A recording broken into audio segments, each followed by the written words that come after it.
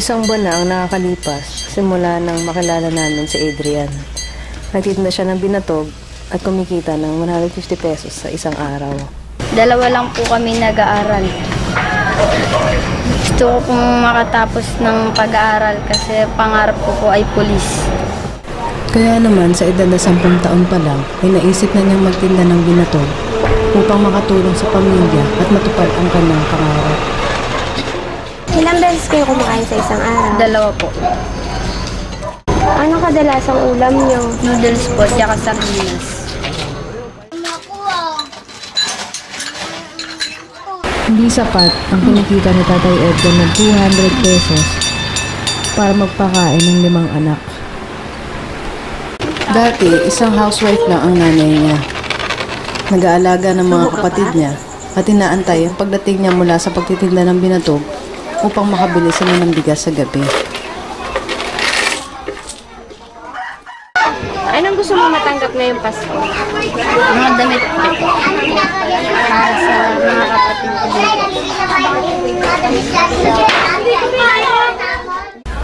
Para sa mga nakatira sa lugar na kagaya nila, mahal na may tuturing ang pagkakaroon ng damit at sapatos.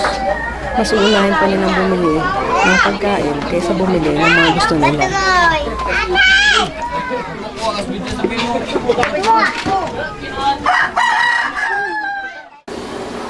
Kaya naman, binigyang katuparan namin ang munting hiling ni Adrian para sa Pasko. Binigyan namin sila ng regalo, gaya ng groceries, damit, sapatos, bag at pera. Pwede nyo rin ipagtinda, condiments, o kaya makakatulong sa pang-araw-araw grocery po mga binigay niyo po. Gagawin po namin paninda para sa mga kapatid. Alam namin na sa pagkakaroon ng maliit na tindahan, ito ay makakatulong sa kanila ng malaki para sa kanilang pang-araw-araw na pangangailangan. Binalikan namin sila pagkaraan ng isang buwan. Saktong isang araw bago magbagong taon. Ang munting tindahan noon ay napalago na nila. Nagdagdag na sila ng mga debote gaya ng soft drinks at tube ice. Ngayon, ito ay kumikita na ng 700 hanggang 1,500 kada araw.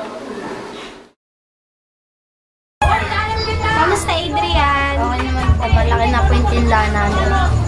Tsaka pag titinda po kami ng binatog, sila mama ko, tapos Erika po nagbabantay. Pag nagtitinda kami ng binatog, may sarili na po akong kariton. Tsaka hindi na din po ako markila ng 20-20 sa isang araw. Yung umpisa po nung tinulungan mo kami, tuloy-tuloy na po yung biyaya, tsaka hindi na po kami nangungutang. Gumaan po yung gumaan na po yung buhay namin. Tapos, nung Pasko po, kumita po kami 1.5. Nakakain na po kami ng tatlong beses sa isang araw. Tsaka po, nabibili nila yung gusto nilang kainin. Adrian, kaya kami nandito ulit kasi nakita namin ang pinahalagahan nyo at inalagaan mga munting binigay namin sa inyo. Masaya kami na naging parte kami ng pagbabago ng buhay. Kaya naman, bumalik kami ulit ngayon dito para magbigay ulit ng sorpresa sa'yo galing ulit kay Sir Mark kay Ma'am Rhea.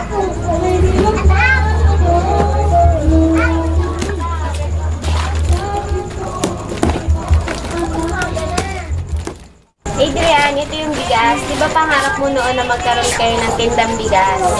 Sana makatulong sa tindahan nyo.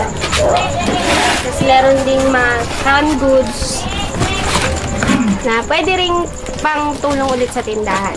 Tsaka meron tayong mga prutas para po mamaya pang medianoche, pang New Year.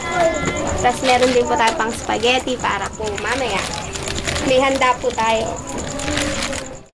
Hindi sa lahat, Adrian, may pinaabot ulit na munting tulong si Sir Mark at si Ma'am Rhea. Sana makatulong din ulit sa paglago ng tindahan.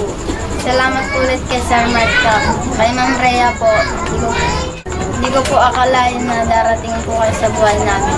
Bulog po kayo ng langit.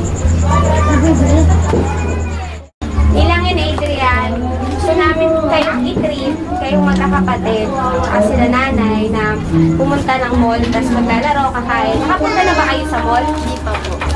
O, ayan. Ngayon, pupunta tayo sa mall para matupad naman yung makapunta, makapaglaro. Right? Saan mo ba gustong kumain, Adrian? Sa KFC po. Tapos maglalaro tayo. May kotse po na naglulugan ng token. Okay, sige. Pumunta tayo doon. Tara na! Halika na. Hindi makakasama si Nanay Nieva kasi walang lock yung pintuan nila. Kaya uuwian na lang natin si Nanay Nieva ng pasalubong mamaya. Salamat. Uwian ka na lang namin, Nanay, ha? Salamat po.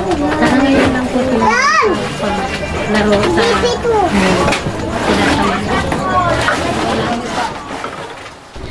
Excited ang magkakapatid na marating ang mall. Medyo malayo-layo pa ang lalakarin namin patungo sa sakayan ng jeep. Napansin ko, suot pala nilang mag-anak ang mga naregalo namin sa kanila bago magpasko. Nakakatuwang isipin na bago matapos ang taong 2016, may isang pamilya kami mapapasaya. Excited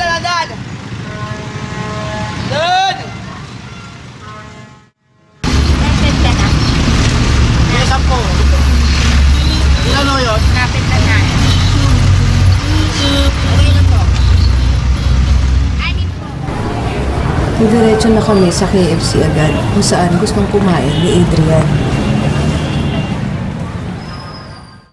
Habang naghihintay sila Adrian sa nakuha naming pwesto, umorder na kami agad ng mga pagkain. Sinama na namin ang take-off food ni Nanay Nieva.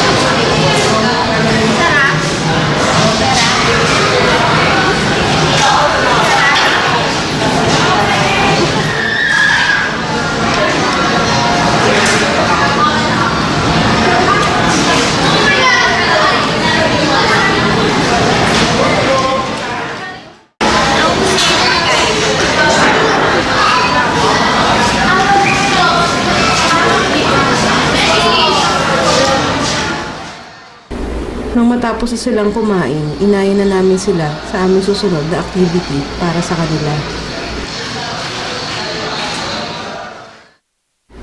Marahil, nagtataka kayo kung bakit namin kailangan silang itreat sa labas. Kasi yung mga batang kagaya ni Adrian, nagtatrabaho ng maaga para makatulong sa pamilya.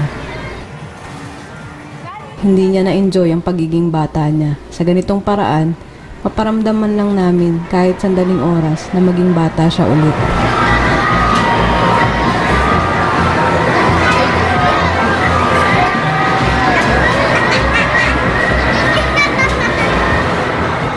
Hinayaan namin silang laruin ang lahat ng gusto nilang laruin dito sa amusement park na ito. Ang bunsong si Aaron nag-enjoy ng gusto sa carousel ride na ito. Kaya naman sinakay niya ito ng paulit-ulit. Nagkarera naman ng kotse ang magkapatid na sila Adrian at Jan. Sila Erica at Eric naman ay abala rin sa paglalaro.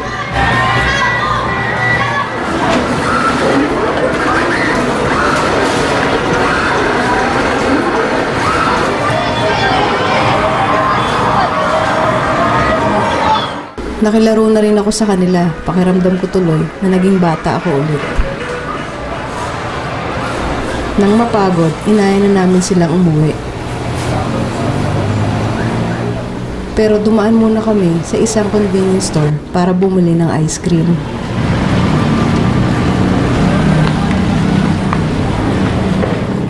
Adrian, nag-enjoy ba kayo ngayong araw na to? Salamat po kay Ma'am Pray at kay Kuya Mark po.